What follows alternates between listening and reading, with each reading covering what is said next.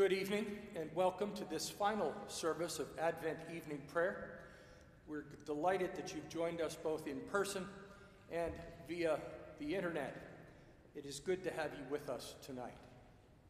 I invite you to join me in the opening sentences. Stay with us, Lord, for it is evening, and the day is almost over. God will come, and there shall be continuous day, for at evening time there shall be light God is light. In God there is no darkness at all.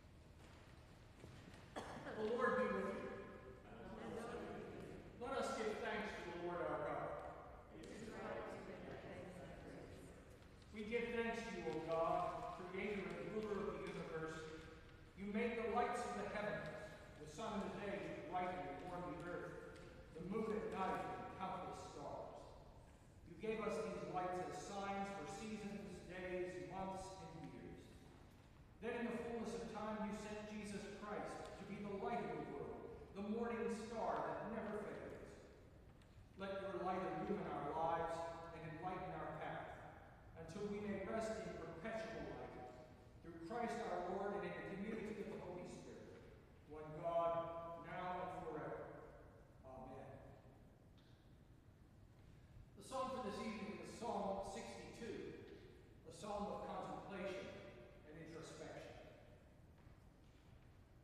For God alone my soul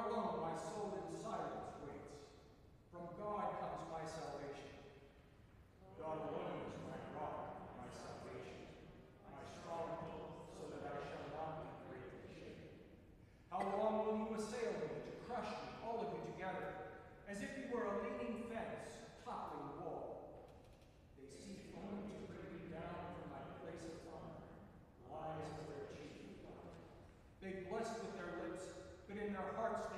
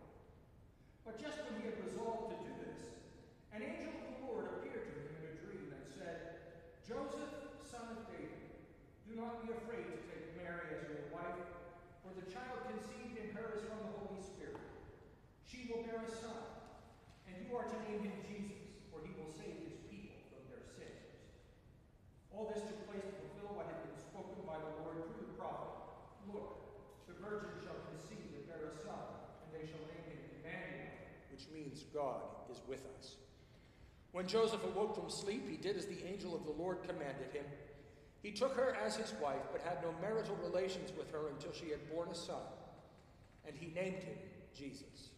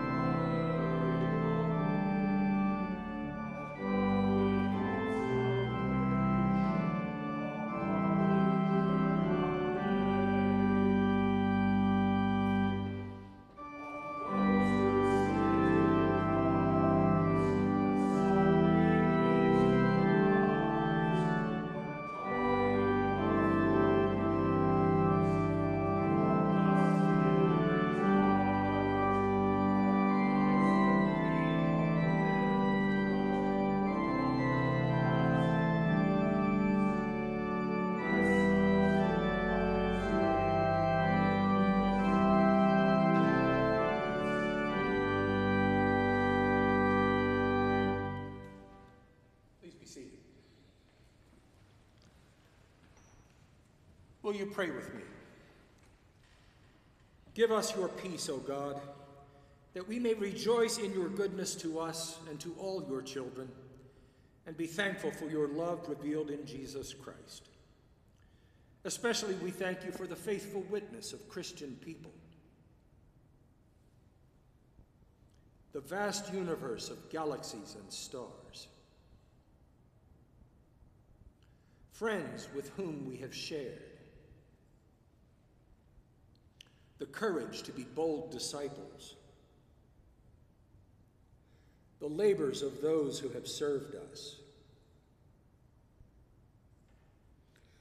We hold before you all those who are cleaning up following the tornadoes, all those who were in hospitals due to injuries during the storms, all those who grieve the loss of loved ones. All those who wonder where the missing may be. All those who will need to rebuild lives and homes. And for all those left homeless by the tornadoes. We hold in your presence those who have contracted COVID in the past week. Frontline workers and healthcare professionals those who are reconsidering getting the vaccine or a booster, those who are grieving the loss of a loved one from the virus. Give us your peace, O God, that we may be confident of your care for us and all your children as we remember the needs of others. Especially we pray for Episcopal and Methodist churches racial justice and reconciliation. Those who are poor or vulnerable. Agents of caring and relief. Help for those who are abused or neglected. The homeless and those in unsafe housing. The hungry especially infants and children. God of grace, ever faithful to your promises, the earth rejoices in hope of the Savior's coming and looks forward with longing to his return at the end of time. Prepare our hearts to receive him when he comes, for he is Lord forever and ever, and he continuously teaches his disciples to pray, Our Father, who art in heaven, hallowed be thy name. Thy kingdom come, thy will be done on earth as it is in heaven. Give us this day our daily bread, and forgive us our debts as we forgive our debtors. And lead us not into temptation, but deliver us from evil. For thine is the kingdom, and the power, and the glory forever. Amen.